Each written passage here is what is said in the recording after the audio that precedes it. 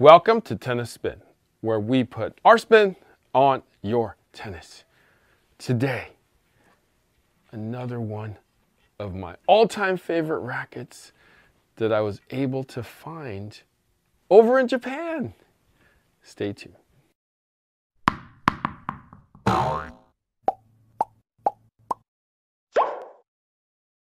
All right, guys, so good morning to everybody out there. Uh, coffee sponsor of today is someone. Someone writes, Thanks for your videos. Oh, thank you so much, someone. I appreciate you hooking me up with the morning brew. If you want to be my someone that takes care of my Java of the day, network is buymeacoffee dot forward slash tennis spin. Thank you so, so much to all the someones of the world, as I always say. Mm. All right. Gotta love those someones. All right, so one of the one of the other rackets that I brought back from the thrift store in Japan called the Book Off is this secret no, it's it's called a secret. Yes. It's well, no, it's actually not called a secret. It's called a proto. The Proto EX by Yamaha. In America, this would be called a secret EX.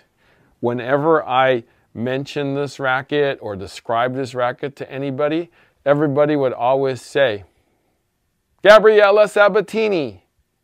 And I'm like, yeah, yeah, I know. we all know Gabriela Sabatini back in the day. She used this racket. They actually made a yellow version of this racket that was like a limited edition version. So wherever you see white, they had yellow in it.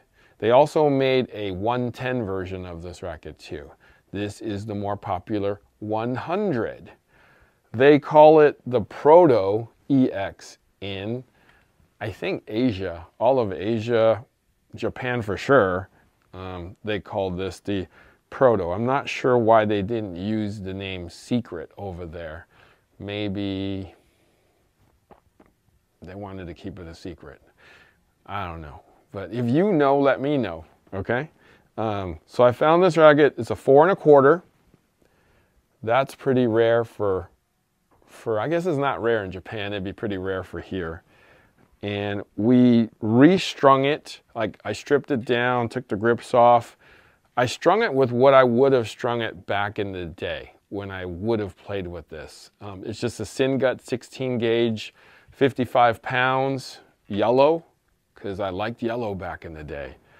And I stripped the grip down, and actually, no, I just put an overgrip on this one because it was actually perfect whoever had this racket before me um, had a nice, decent working grip on it still. So I just threw a uh, over grip on it and uh, yeah, I'm pretty ready to try it right now.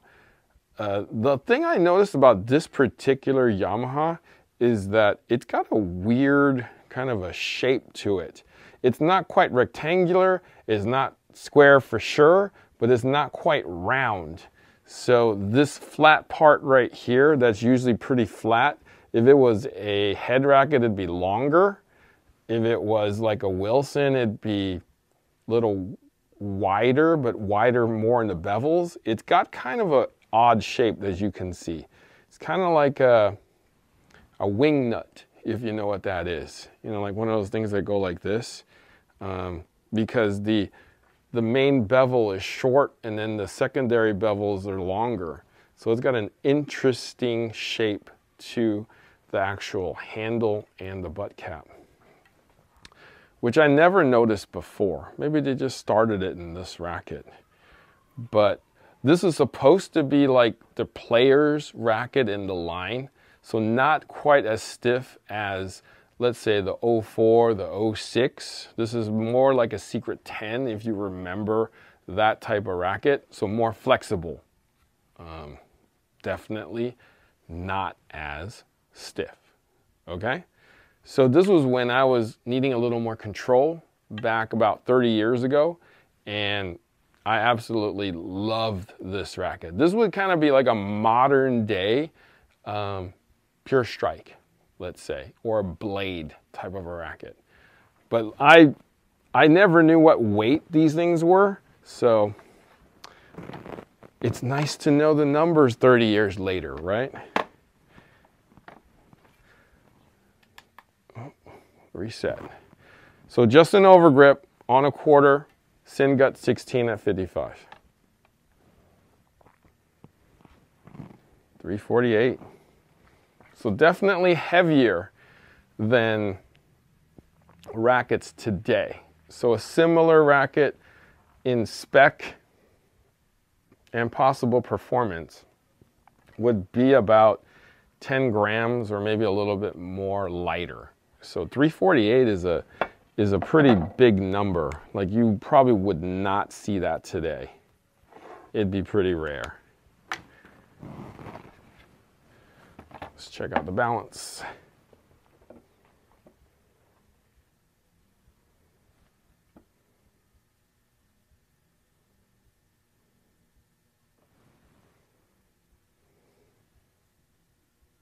About 312 there. Definitely headlighter.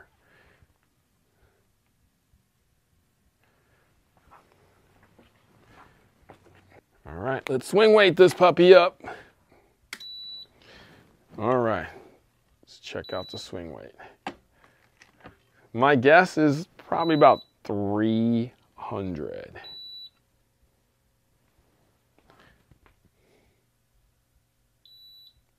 Three oh seven. Okay.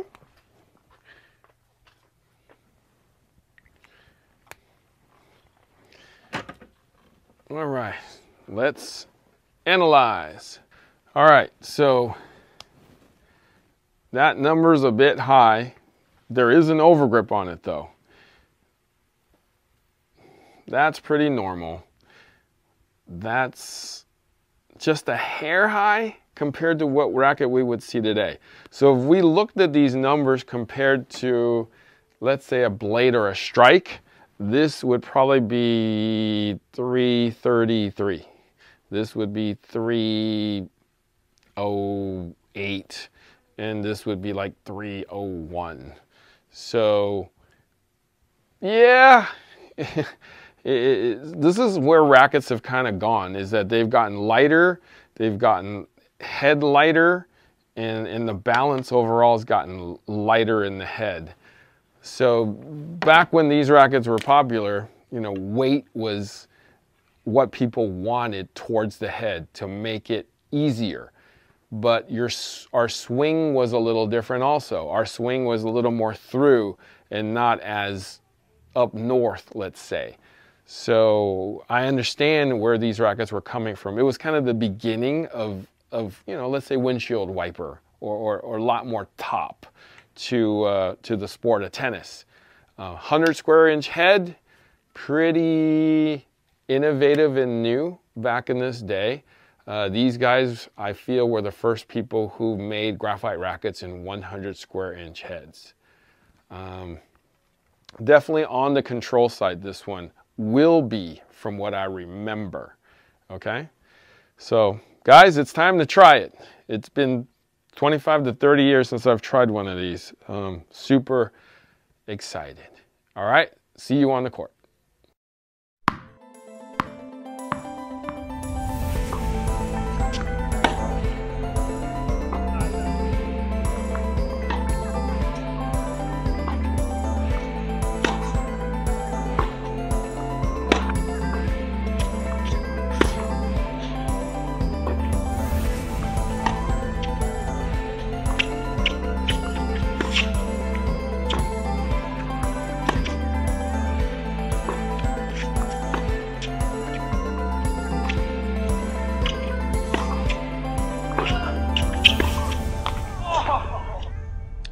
All right, so we just got off the court. Coach Chris is here with me. Have you tried a racket like that before? Have you seen a racket like that before? No. No? Mm. I think you were too young. It might have been about 30 years ago when this uh, came out, which means you were like two years old or one years old. So if you you probably don't remember Gabriela Sabatini. Nope. Okay. Well, okay, well then. Yeah.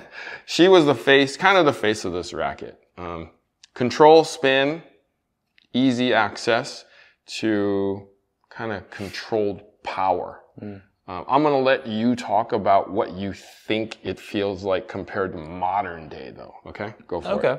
When I picked it up immediately, I noticed that it did have some heft to it. And after swinging with it a bit more, it kind of reminded me of, yeah, Blade, but also Pure Strike too as well. Um, you definitely do have to swing with this racket. Um, the weight distribution, definitely a little bit more on the handle. But it's cool to see that Gabriela Sabatini played with a racket like this. It is definitely, and I didn't realize that uh, Yamaha also made a these pro. These are this is like an actual racket like you can that you can play with. Not as much as that V12 uh, O2 racket there in terms of hitting it flat, but this has kind of an overall player kind of pro racket feeling. So it's got control. It's got all all you need really. So interesting. Yeah. So th- this is what um, Coach Ching is talking about here. We were going back and forth um, with this racket and the Yamaha Proto O2, which is like super stiff. And this is pretty flexible, good for control. When he had that racket, uh, the 02, and I had this one, he was just easily blowing it past me. And he's like, come on, Ching. And I'm like, dude, you got the V12 engine and I'm shooting with a Honda Civic over here. so I'm actually having to swing to gain power. And he's literally just like easy going, you know, using my speed, my ball against me and just like basically making my ball accelerate even twice as fast coming back to me. So I was like, man, and I'm just trying to just struggle to take a full swing because if I don't take a big, you know, take a full cut with this racket, it's not going anywhere. I literally have to swing. This racket forces you to swing. But when you do, it's got great feel mm-hmm. and it rewards you. Mm-hmm. So I feel like a lot of the rackets today, they don't give you as much feel as something like this. Even says it, the difference you can feel. Made in where? Singapore. Singapore! Made by the crazy rich Asians that got rich off this racket and is now retired and don't make rackets anymore. But they're making pianos, bicycles, and other things. Maybe they should go back into making rackets. I know, right? Can Yamaha please make rackets again? Please? I'll play with them. I know. A lot of people would. All right. Coach Ching, thank you so much. Where can they find you, bud? You can find me at CB Chien Tennis. And That's it. Guys, thank you for watching Tennis Spin, where we put our spin on your tennis. Guys, if you see one over there at the book off in Japan, pick it up for 10 bucks, guys.